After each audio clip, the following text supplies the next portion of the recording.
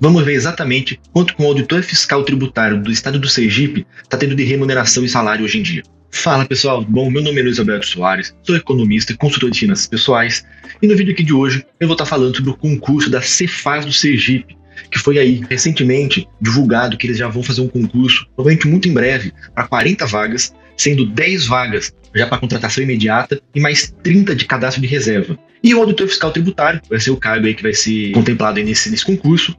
E uma dúvida que muita gente sempre acaba tendo é quanto que de fato o auditor fiscal está ganhando. Ou seja, como é que é a carreira dele, como é a remuneração. E muita gente tem essa dúvida. Então, eu entrei aqui no site do Portal da Transparência do Estado de Sergipe para gente dar uma olhada junto e entender como que funciona essa carreira deles. E antes de continuar bem rapidinho, se você quer receber mais conteúdo sobre carreiras, concursos, formas de ganhar dinheiro, finanças pessoais, investimentos, segue aqui o canal e eu vou tentar compartilhar o máximo de conteúdo de qualidade e de graça para você. Bem, pessoal, vamos lá então, ó. Para começar, eu mudei aqui o mês, a última folha disponível é a folha de julho desse ano, porque eu coloquei a folha de junho um mês antes, porque em julho o pessoal está recebendo ali o adicional de, ou parece que é o adiantamento do 13 terceiro, aí bagunça tudo os números, porque é uma coisa que vem uma vez no ano, então para evitar pegar um mês extremamente alto, que não mostra a realidade mensal aí do cargo, eu peguei aqui então o mês de julho, peguei também só o pessoal que está lotado de fato na Secretaria de Fazenda, por que eu fiz isso? Porque em muitos lugares é relativamente comum os auditores aí serem cedidos para outros órgãos,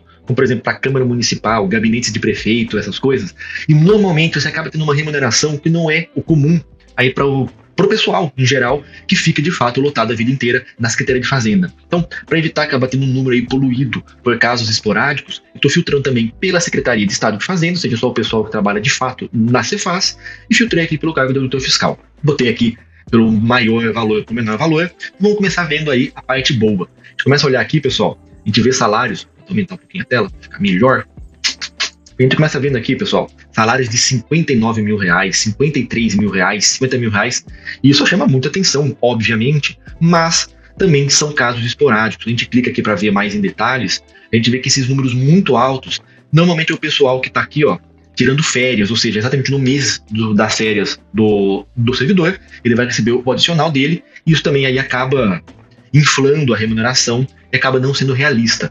E também, bem nesse caso específico aqui do maior, é um, é um servidor que entrou em 1985, ou seja, há muito tempo atrás, antes mesmo da própria Constituição, então a gente também vê aqui algumas uh, remunerações, gratificações, abonos que não existem para grande parte dos servidores que entraram novos. É, realmente são coisas antigas, aí que acabam também aumentando o salário, mas que para quem está prestando o concurso hoje acaba não sendo muito realista.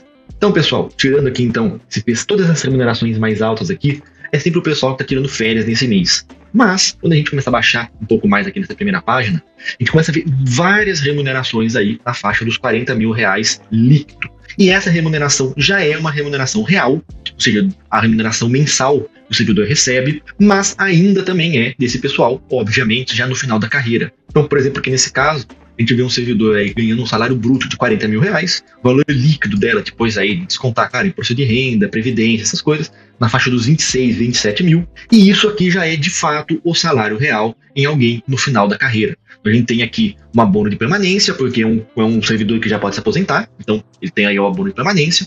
Tem aqui algumas participações, então, algum cargo comissionado, aqui seria incorporação de cargo comissionado, então é um servidor que ficou bastante tempo no cargo em comissão e acabou incorporando isso no, no salário dele. Tem alguma vantagem aqui, que eu até procurei um pouco no Google aqui rapidamente, não consegui achar exatamente a explicação para isso, mas um valor pequeno também acaba não sendo tão relevante. Alguns adicionais, o salário efetivo dele, que de fato aí é o grosso, já deu aí 29.900, tira algumas remunerações, alguns, alguns descontos, né?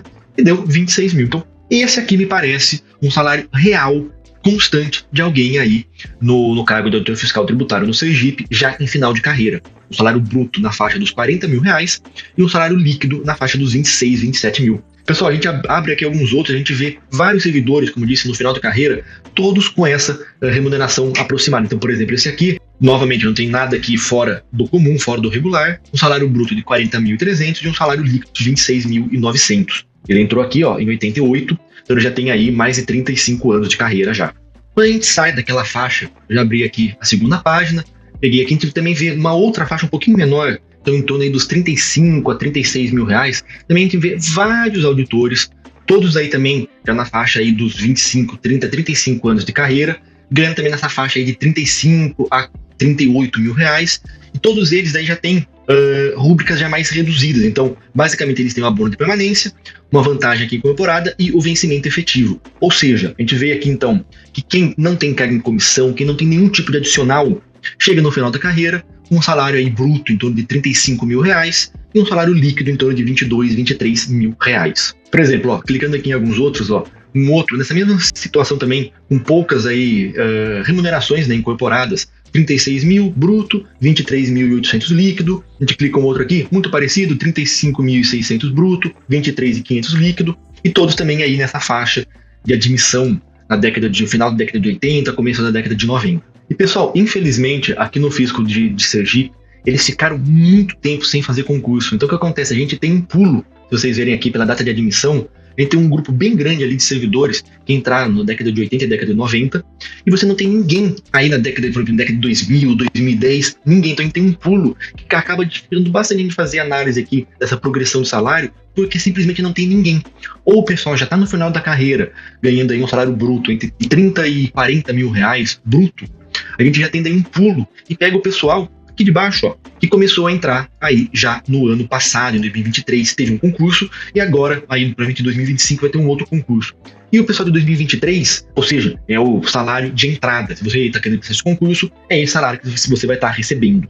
E quando a gente pega esse pessoal que entrou recentemente, no ano passado, a gente vê que o salário deles, bruto, está dando de fato em torno dos 20 mil reais. A gente tem aqui, ó, assim, dá uma olhadinha, e tem alguns aqui ganhando 24, 22 mil, mas também se a gente clicar neles, ó, é o pessoal aí que está recebendo o adicional de férias, então, ou a gratificação natalina, que é o adiantamento ali do, do, do 13 terceiro, então não é o salário mensal deles usual. O salário usual deles, se a gente pegar aqui na faixa dos 19 mil, esse de fato já é o vencimento do pessoal.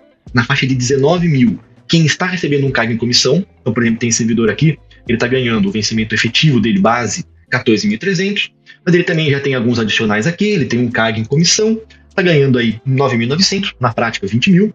Quando tira os descontos, está ganhando um salário líquido de 14.600. Todos aqui nessa situação estão também em torno disso. O pessoal que recebe algum tipo de adicional, recebendo na faixa dos 19 mil bruto e na faixa dos 14 mil líquido. E o pessoal aí que não tem carga em comissão que não está conseguindo ganhar aí esses adicionais, está com um salário bruto aqui de 14.390, que é realmente o salário efetivo simples, ou seja, a base da base aí, ganhando 14.300 3.900, a 2.390 bruto, e depois dos descontos, 10.538 reais. Ou seja, se você está querendo prestar o cargo de fiscal tributário, realmente é um cargo muito bom, você vai ter aí entrando, no mínimo, essa situação que eu estou te mostrando aqui na tela agora. Um salário efetivo, um salário bruto aí de 14.390 e um salário líquido, que é o de fato que você vai receber para você poder viver, R$ 10.538. É disso para cima, como eu disse, a pessoa que está recebendo isso é porque não tem nenhum tipo de adicional, e outros colegas aí que também acabaram de entrar em 2023 têm remunerações brutas um pouco maiores porque acumulam algum tipo aí de benefício. E pessoal, é isso. Espero que você tenha gostado é, de saber um pouco mais sobre a remuneração, sobre o salário, sobre a carreira dos auditores fiscais de Sergipe. Você vai prestar esse concurso, desejo uma ótima sorte para você. E reitero aqui o meu convite. Se você gostou desse vídeo, deixa o seu like aqui embaixo. Se você tem alguma dúvida sobre esse cargo, sobre outro cargo, ou sobre qualquer assunto de finanças pessoais, sobre investimentos, deixa um comentário aqui embaixo, faz essa pergunta para mim, que eu vou ter o maior prazer de ou responder o seu comentário com outro comentário, ou quem sabe fazer um vídeo até respondendo a sua pergunta, porque é o que eu sempre digo. Se você tem algum tipo de dúvida, provavelmente outras pessoas também têm. E minha ideia aqui sempre é levar o máximo de conhecimento sobre qualquer coisa que tenha a ver com finanças pessoais. Então, se você gostou, deixa seu like aqui embaixo, se inscreve no canal e espero ver você no próximo vídeo. Tchau, tchau!